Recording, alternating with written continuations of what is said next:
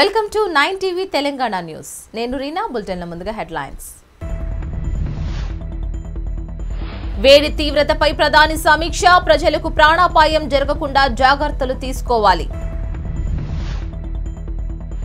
అడిగితేనే విద్యుత్ సబ్సిడీ ఇస్తాం ఢిల్లీ ముఖ్యమంత్రి అరవింద్ కేజ్రీవాల్ వెల్లడి.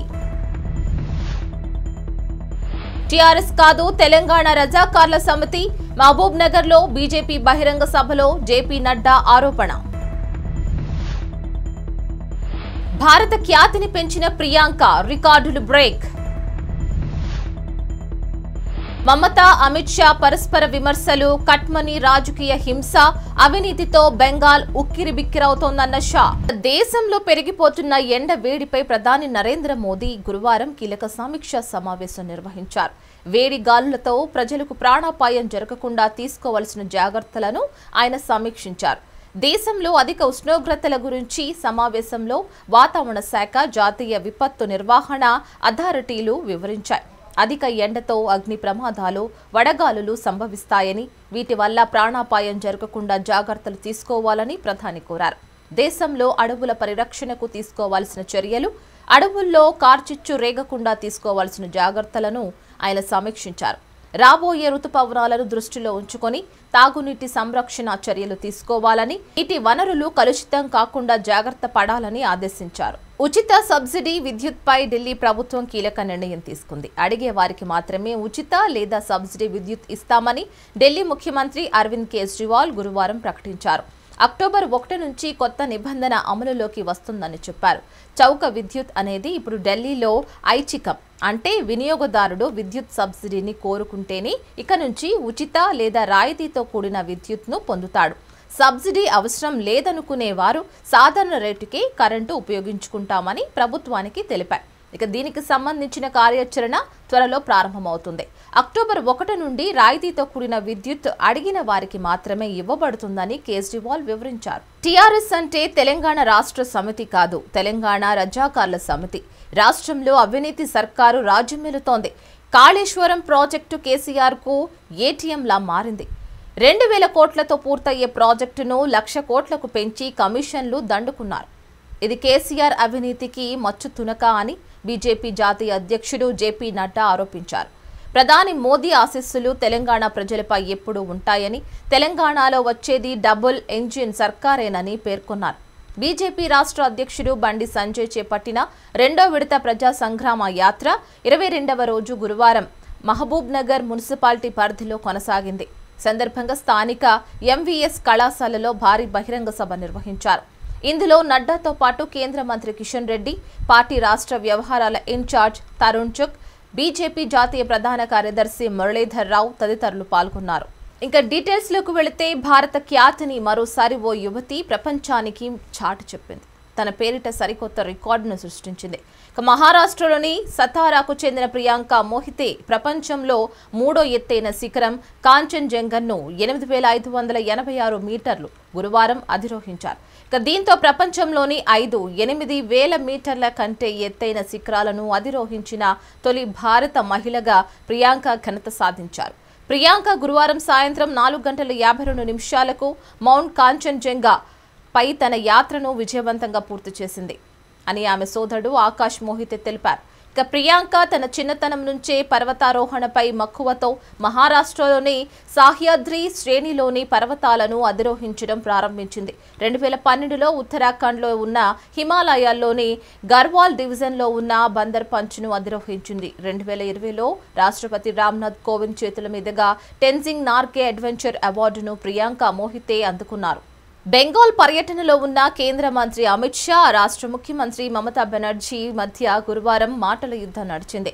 కట్మని రాజకీయ హింస అవినీతితో బెంగాల్ ఉక్కిరి బిక్కిరి అవుతోందని అమిత్ విమర్శించగా దేశంలో మత కల్లోలాలు బీజేపీ రాష్ట్రాల్లో మహిళలపై దాడుల నుంచి దృష్టి మరలించేందుకు బెంగాల్ గురించి మోదీ షాలు అబద్ధాలు చెబుతున్నారని మమత ప్రతి విమర్శలు చేశారు. ఇక గతేడాది బెంగాల్ ఎన్నికల వేళ ఇరువురి మధ్య ఇదే తరహా మాటల యుద్ధం నడిచింది. ఇక దీంతో పాటు సిఏఏపై కూడా ఇరువురు మరోమారు విమర్శలు చేసుకున్నారు.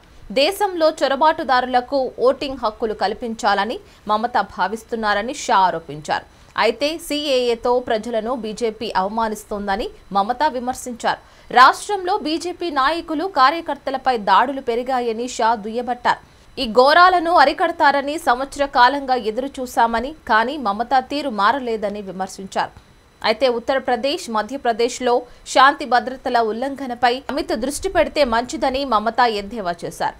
తమ రాష్ట్రానికి పంపినట్లు జాతీయ మానవ హక్కుల బృందాలను బీజేపీ పాలిత రాష్ట్రాలకు పంపాలన్నారు. నిర్మల్ జిల్లాలోని పలు రైస్ మిల్లలో అధికారులు తనిఖీలు నిర్వహించారు. గత సంవత్సరం లెవీ పెండింగ్లో ఉండగా పలు రైస్ మిల్లుల్లో ధాన్యం నిల్వలు లేనట్లు ఆరోపణలు వస్తున్న నేపథ్యంలో జిల్లాలోని రైస్ మిల్లులో ధాన్యం మరియు బియ్యం నిల్వలను పరిశీలించి వివరాలను ఫుడ్ కార్పొరేషన్ ఆఫ్ ఇండియా అధికారులు సేకరించారు. ముఖ్యంగా లేవి బకాయిపడ్డ రైస్ మిల్లుల్లో క్షుణ్ణంగా పరిశీలించి రికార్డులను పరిశీలించి రికార్డుల ప్రకారం నిల్వలు లేని రైస్ మిల్లులు యజమానులపై చర్యలు తీసుకున్నట్లు అధికారులు తెలిపారు.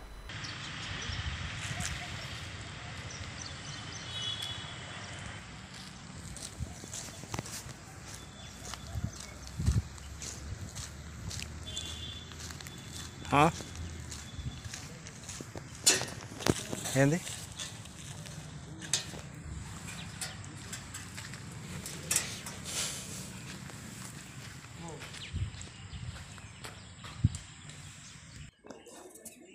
ఈరోజు ఎఫ్సీ తనిఖీల్లో భాగంగా మనం నర- నిర్మల్లో వెంకటరమణ మోడర్న్ రైస్ మిల్లు మనం తీసుకున్నాం. ఇవి మనకు మన మన పై అధికారుల వాళ్ళ సమాచారం మేరకు ఇప్పుడు ఇప్పుడైతే తనిఖీలు నిర్వహించడం. ఈ తర్వాత ఇంకా మిగతా మిల్లులు కూడా చేయాలి ఇక. తీసుకుంటున్నాం. ఇవి మొత్తం ఫైనలైజింగ్ కావాలి మన- ఫర్దర్గా ఏది ఉన్నా కూడా మన మన రిపోర్ట్ యాక్చువల్ జిల్లాలో ఇప్పటివరకు ఒక ఐదారు అయిపోయినాయి. ఐదారు అయిపోయినాయి. నిర్మల్ నిర్మల్ నిర్మల్ ఎన్ని రైస్? ఇది సెకండ్ బిల్ అనుకుంటా. ఇంకా ఇంకా ఫర్దర్ వల్ల ఇంకా మిగతా బ్యాలెన్స్ బిల్స్ కూడా ఇంకా కవర్ చేస్తాం మేము.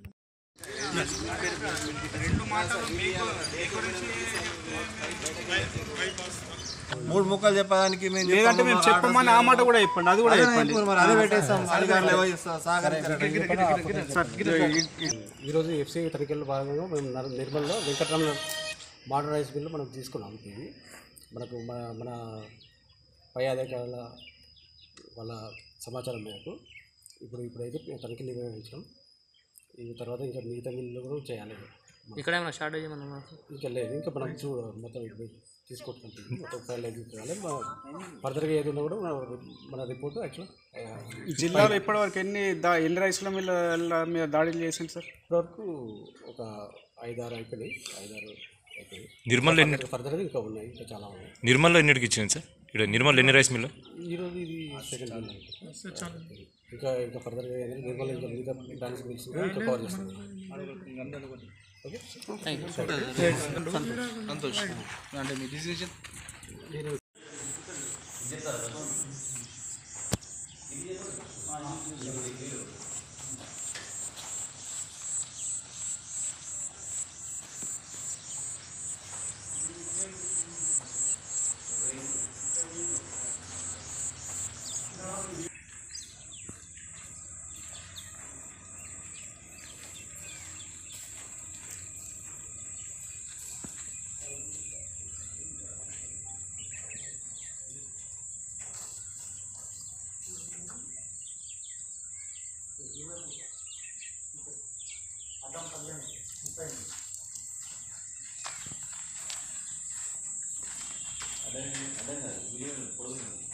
muy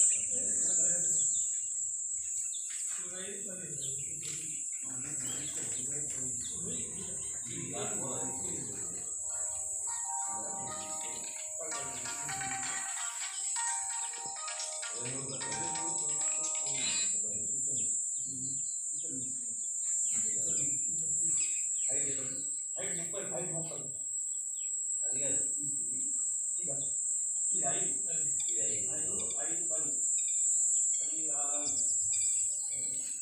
మరి ఇదో పది ఇదే ముప్పై ముప్పై రెండు ఐదు రెండు ఐదు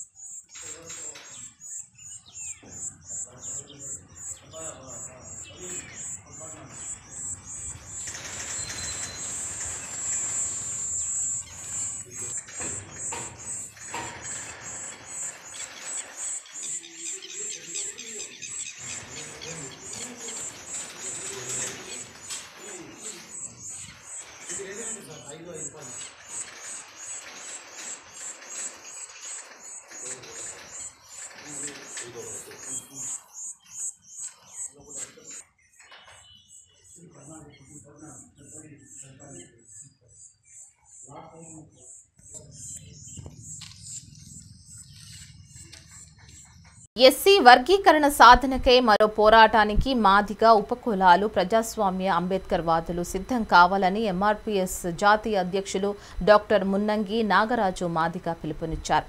స్థానిక బాబు జగ్జీవన్ రావు భవన్ నందు అభినందన సభ జిల్లా కన్వీనర్ ఎస్ నరేంద్రబాబు అధ్యక్షతన నూతనంగా ఎన్నుకోబడిన ఎంఆర్పీఎస్ ఎంఎస్ఎఫ్ జాతీయ అలాగే రాష్ట్ర నాయకుల అభినందన సభకి ఎంఆర్పిఎస్ జాతీయ అధ్యక్షులు మున్నంగి నాగరాజు ఎంఆర్పిఎస్ రాష్ట్ర అధ్యక్షులు రుద్రపోగు సురేష్ మాదిక ఎంఎస్ఎఫ్ రాష్ట్ర అధ్యక్షులు బెనర్జీ మాదిక ఎంఆర్పిఎస్ రాష్ట్ర ప్రధాన కార్యదర్శి ఎలీషా మాదిగ ఎంఎస్ఎఫ్ జాతీయ ఉపాధ్యక్షులు రవి మాదికలు ముఖ్య అతిథులుగా విచ్చేయగా వారిని ఎంఎస్సి ఎంఆర్పీఎస్ ఎంఎస్ఎఫ్ నాయకులు శాలువా కప్పి పూలమాలలు వేసి జ్ఞాపికలను అందజేశారు ఈ కార్యక్రమంలో ఎంఆర్పీఎస్ జాతీయ అధ్యక్షులు మున్నంగి నాగరాజు మాదిగ మాట్లాడుతూ షెడ్యూల్డ్ కులాల వర్గీకరణకు కేంద్ర రాష్ట్ర ప్రభుత్వాలు మద్దతు తెలుపుతూనే మాట తప్పి మాదిగ మరియు ఉపకులాలకు తీరని అన్యాయం చేస్తున్నారని ఆరోపించారు. అధికారంలోకి వచ్చి వంద రోజుల్లో వర్గీకరణ చేస్తామన్న బీజేపీ ఇప్పటికీ ఎనిమిది సంవత్సరాలు గడుస్తున్నా ఇంకా మాదిగల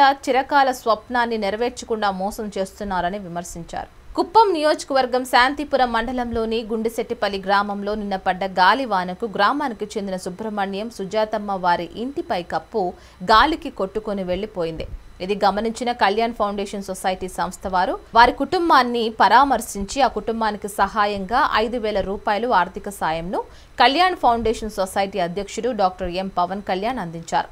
ఈ సందర్భంగా సంస్థ అధ్యక్షుడు మాట్లాడుతూ గత ఐదు సంవత్సరాలుగా ప్రభుత్వ పాఠశాలల్లో ఉన్న పేద విద్యార్థులకు తోడ్పాటును అందించే విధంగా కార్యక్రమాలు చేస్తున్నామని తెలిపారు. పేదవారికి అండగా కళ్యాణ్ ఫౌండేషన్ సొసైటీ ఎప్పుడు ముందు ఉంటుందని సంస్థ అధ్యక్షుడు తెలిపారు. ఈ సందర్భంగా సుబ్రహ్మణ్యం మరియు సుజాతమ్మ వారు కళ్యాణ్ ఫౌండేషన్ వారికి ధన్యవాదాలు తెలిపారు. నిర్మల్ జిల్లా తానూరు మండలంలోని బెంబర్ గ్రామంలో కన్నుల పండువగా దస్తగిరి సంతల్ వేడుకలు ఘనంగా నిర్వహించారు. రెండు వేల పద్నాలుగున ప్రారంభించి ప్రతి ఏటా ఆనవాయితీగా సాగుతోందని దస్తగిరి షేక్ ఆధ్వర్యంలో మే నెలలో జరుపుకున్నారు. డప్పు సప్పుళ్ళతో నృత్యాలు చేస్తూ ఊరేగింపు సాగింది. ఈ కార్యక్రమంలో స్థానిక సర్పంచ్ బాలాజీ ఉప సర్పంచ్ శ్రీను నాయి బ్రాహ్మణ జిల్లా ప్రధాన కార్యదర్శి సాయినాథ్ గ్రామ ప్రముఖులు పాల్గొన్నారు.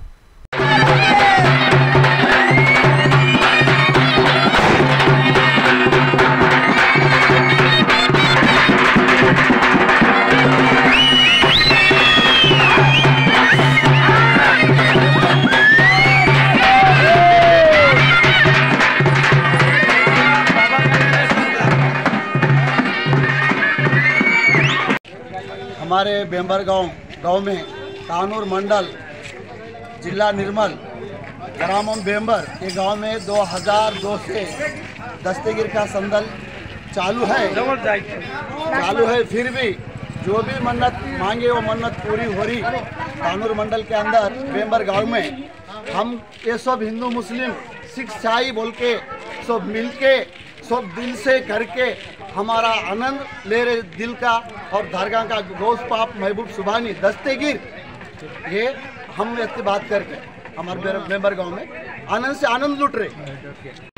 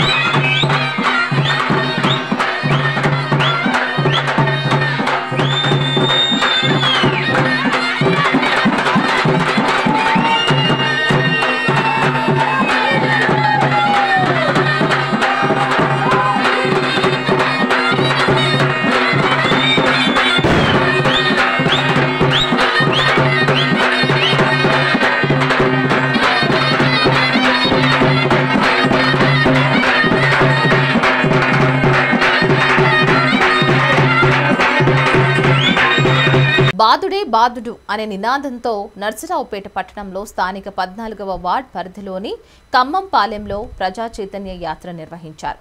ఈ ప్రజా చైతన్య యాత్రలో నర్సాపూర్పేట ఈ ప్రజా చైతన్య యాత్రలో నర్సరావుపేట నియోజకవర్గ TDP in-charge doctor Chedalavada Aravindababu పాల్గొన్నారు.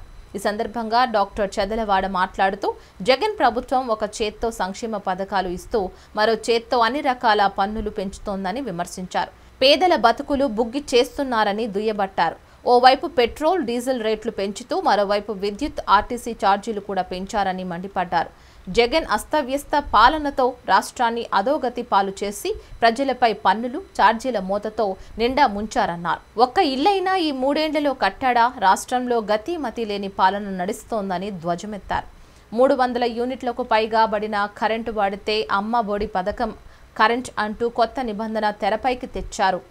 ఈ నిబంధనలన్నీ ముందే ఎందుకు చెప్పలేదని ప్రశ్నించారు. పెంచిన ధరలను తగ్గించాలని బాదుడే బాదుడు కరపత్రాలను గడప గడపకు పంపిణీ చేశారు.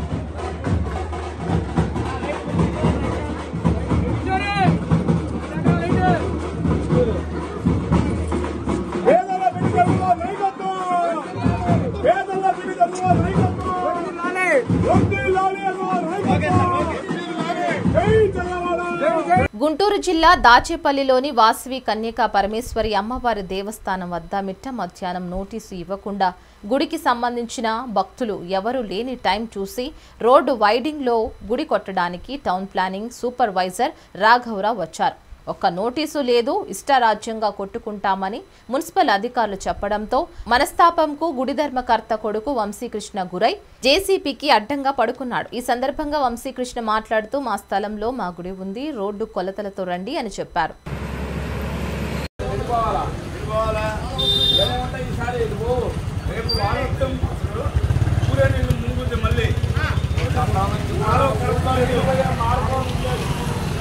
కృష్ణ అండి దాచేపల్లి వాసుని. గుడి దగ్గరికి వచ్చి జేసీబీని తీసుకోమని వచ్చి మిట్ల మధ్యాహ్నం ఒంటి గంట టైంలో వచ్చి కొడతా ఉన్నారు. నోటీసులు ఇవ్వలేరు గుడికి. ఇంతవరకు కొడతాను అంతవరకు కొడతానని చెప్పేసి ఏం చెప్పలేదు. చెప్పకుండా మిట్ట మధ్యాహ్నం జనాలు ఎవరు లేనప్పుడు గుడికి సంబంధించిన వాళ్ళు ఎవరు లేనప్పుడు వచ్చి గుడిని కొట్టుకొని పోవటం అనేది ఇది చాలా అక్రమం అని చెప్పేసి మేము చెప్తా ఉన్నాం. దానికోసం నేను ప్రొక్లైన్ కొట్టకుండా ఉండటం కోసం నేను ఇలా కూర్చో ఉన్నాను.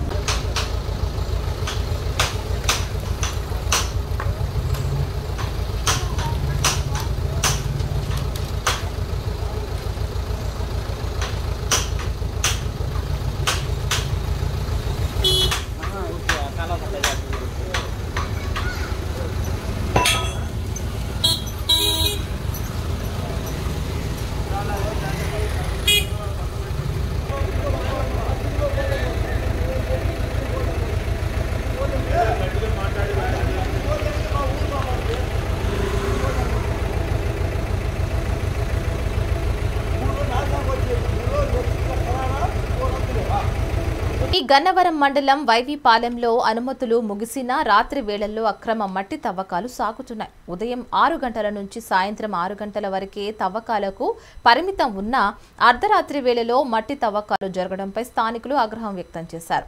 అక్రమ మట్టి తవ్వకాలు జరుగుతున్న సంబంధిత అధికారులు పట్టించుకోకుండా చోద్యం చూస్తున్నారు. రాత్రి వేళల్లో ఇసుక అక్రమంగా తరలిస్తున్నారని విమర్శలు కూడా స్థానికుల నుండి బలంగా వినిపిస్తున్నాయి.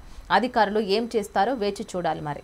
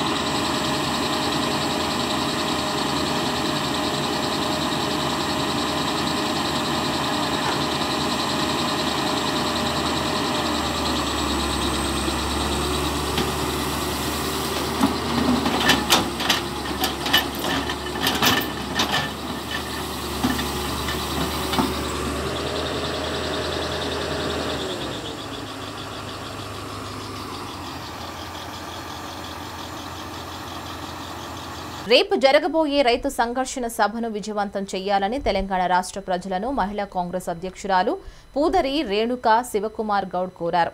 సోనియా గాంధీ నాయకత్వం వర్ధిల్లాలి రాహుల్ గాంధీ నాయకత్వం వర్ధిల్లాలి ప్రియాంక గాంధీ నాయకత్వం వర్ధిల్లాలి రేవంత్ రెడ్డి నాయకత్వం వర్ధిల్లాలి పొన్నం ప్రభాకర్ నాయకత్వం వర్ధిల్లాలి బాల్మూర్ వెంకట నాయకత్వం వర్ధిల్లాలని ఆకాంక్షించారు.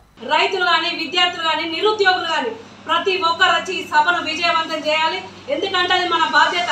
తెలంగాణ ఇచ్చిన తల్లి సోనియా గాంధీ గారిని మర్చిపోయి ఈ రోజు కేసీఆర్ చేసిన దుర్మార్గ దుర్మార్గ పనులకు దుష్ట నీచ నికృష్టమైన పనులందరికీ నాంది చెప్పాలంటే మనం అందరం ఈ సభకు భారీ ఎత్తున ఐదు లక్షలు ఎక్స్పెక్టేషన్ అన్న ఆరు ఏడు లక్షల జనంతోని మన రాహుల్ గాంధీ గారిని సగర్వంగా మన వేదిక మీదకి ఆహ్వానించుకొని మన బాధలు చెప్పుకొని మన కష్టాలు చెప్పుకొని అన్నా నేనున్నా అన్నట్టుగా తను మన ఊరికి వస్తుందంటే మనం ఎంత అదృష్టముగా భావించుకోవాలి? ప్రతి ఒక్క రైతు కుటుంబానికి అక్కడ ఒక వేదికన అలంకరించి ఆ వేదిక పైన తన కష్టాల గురించి తెలుసుకుంటున్నాడంటే అది ఎంత గొప్ప నాయకత్వం. అలాంటి గాంధీ గారి కుటుంబాన్ని ఈ నీచుడు ఈ కీచకుడు ఇంత దారుణంగా వ్యతిరేకిస్తున్నాడంటే అది ఎంత సిగ్గుచేటు.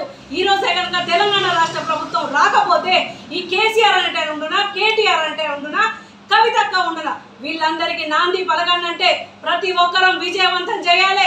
మా హుజరాబాద్ కాన్స్టెన్సీ బల్మూరు వెంకట్ను రేపు సాయంత్రం కల్లా మా రాహుల్ గాంధీ గారి సభకు వచ్చే విధంగా రిలీజ్ చేయాలి లేని ఎడల ఈ ప్రోగ్రామ్ అయిపోయినాక వెంటనే మా హుజరాబాద్ కాన్ఫరెన్స్ నుండి భారీ ఎత్తున నీ ఫామ్ హౌస్ మొత్తం పీకుతామని ఈ విధంగా తెలియజేసిన ప్రతి రైతు సోదరులారా ప్రతి ఒక్కరూ ఈ ప్రోగ్రాం మన ప్రోగ్రాం మన కోసం వస్తున్నట్టు ప్రతి ఒక్కరు ఊరు ఊరున గ్రామ గ్రామాన పల్లె పల్లెన వచ్చి ఈ రైతు సంఘర్షణ సభను విజయవంతం చేయాల్సిన కోరుకుంటున్నాను.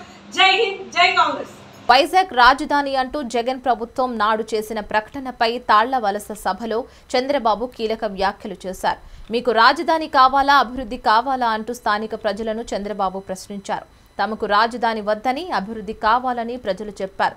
వచ్చే ఎన్నికల్లో తాను ముఖ్యమంత్రి అయితే అమరావతిని రాజధానిని చేస్తా వైజాగ్ను దేశంలోనే మిన్నగా అభివృద్ధి చేస్తానంటూ చంద్రబాబు ప్రకటించారు. అలాగే పెట్రోల్ ధరలు ఎందుకు తగ్గించారని జగన్ ప్రభుత్వాన్ని ప్రశ్నించారు. ఏపీ కంటే ఇతర రాష్ట్రాల్లోనే పన్నులు ఎక్కువ అని నిరూపిస్తే రాజకీయాలు వదులుకుంటానని చంద్రబాబు ఛాలెంజ్ చేశారు. నేనేమన్నా అసత్యాలు చెప్తున్నానా తమ్ముళ్ళు? ఏమమ్మా ఆడబిడ్డలు మీరు చెప్పండి. ధరలన్నీ పెరిగాయి. బాధుడితో భారం అయిందని మీరందరూ భావిస్తున్నారు.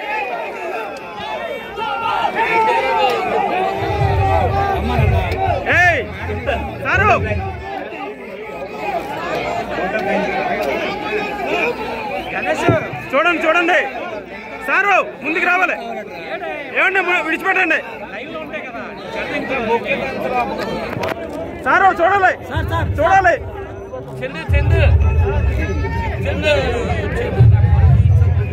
ఇక పిల్లలు లాగండి పిల్లలు లాగండి. అన్న తీయన్న తీయన్న తీయన్న.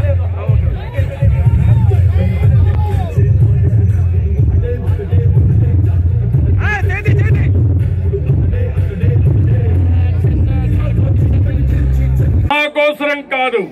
మీకోసరం మన రాష్ట్రం కోసరం మన సమాజం కోసరం ఒకటి అవుదాం. అవుతారా లేదా? దానికి ప్రారంభం బాధుడే బాధుడి పైన ప్రతి ఒక్క ఇంటికి చెప్పండి. చెప్తారా లేదా? పోరాడతారా లేదా? ప్రజల్ని సమైక్యం చేస్తారా లేదా? మీరు ఆ పని చేయండి. ఆ తర్వాత నేనేం చేయాలో ఒకప్పుడు హైదరాబాద్ ఎట్టయితే చేశామో ప్రపంచం ఎట్టయితే తెలుగు వారి సత్తా చూపించామో మళ్ళీ చూపిస్తారని మరొక్కసారి యువతకు అందరికి విజ్ఞప్తి చేస్తున్నా. ఆలోచించమని కోరుతున్నా. ఓకే నేను చెప్పింది మీ అందరికి అర్థమైందా? అర్థమైందని వాళ్ళు తేలిపైకెత్తండి వెనక నుండే వాళ్ళు కనపడుస్తున్నాయి మీ చేలు కూడా. అర్థమైంది? దించండి. అర్థమైంది? పోరాడుతామని వాళ్ళు ఉన్నారా? ప్లీజ్ పోరాడుతామని వాళ్ళు తేలిపైకి ఎత్తండి నమ్మకమేనా? సంతోషం. నాకు ఒక ఆశ. నేను ఎందుకంటే నేను ఎప్పుడు ఎవరికి భయపడను. గుండె నిబ్బరం నా సొంతం. నేను తప్పు చేయను. నేను ఎవరికి భయపడను. ఎవరికి తల వంచను. నేను తల వంచేది ఈ రాష్ట్ర ప్రజల కోసం తల వంచాను తప్ప దేనికోసం కాదు. ఎప్పుడు కూడా ఎంతో మంది ముఖ్యమంత్రులు చూశాను. ఎంతో మంది ముఖ్యమంత్రులతో పోరాడాను. కానీ ఈ రోజు ఉండే ముఖ్యమంత్రి మామూలు ముఖ్యమంత్రి కాదు. ఏ విధంగా ఏ భాషలో వర్ణించాలో నాకైతే అర్థం కాల. నాకు ఒకటి తెలుగుదేశం పార్టీ సత్తా ఉంది శక్తి ఉంది అన్ని గ్రామాల్లో పటిష్టంగా ఉన్నాం. కానీ ప్రజాబలం కావాలి. యువత బలం మీ బలం మాకు కావాలి. మహిళల ఆశీర్వాదాలు కావాలి. ప్రజలందరూ కూడా కలిసి పనిచేస్తే మనకు మంచి ఫలితాలు వస్తాయి. రాష్ట్రం బాగుపడుతుంది. ఏదైతే మెస్అప్ చేశారో ఏదైతే రాష్ట్రాన్ని సర్వనాశనం చేశారో దీన్ని మళ్ళీ రీస్ట్రక్చర్ చేయాలంటే రీకన్స్ట్రక్షన్ చేయాలంటే చాలా ఎఫర్ట్ కూడా అవసరం. ఇప్పుడు ఈ రోజు నుంచి ఇంకా ఎన్ని అవమానాలు జరుగుతాయో ఎన్ని అఘాయిత్యాలు జరుగుతాయో ఎంతమంది ప్రజలపైన దాడులు జరుగుతాయో అవన్నీ తలుచుకుంటేనే ఓసారి భయం వేస్తుంది. ఇక ఇవి ఇప్పటి వరకు నా అప్డేట్స్. మరిన్ని అప్డేట్స్తో మళ్ళీ కలుద్దాం.